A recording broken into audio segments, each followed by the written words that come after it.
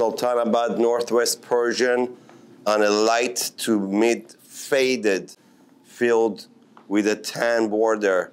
Most of the tan color from the border is also actually in the field of the carpet. In addition to a little bit of a dark yellow dash faded brown and the blue keeps traveling through different shades of light to dark blue. The scale is rather large.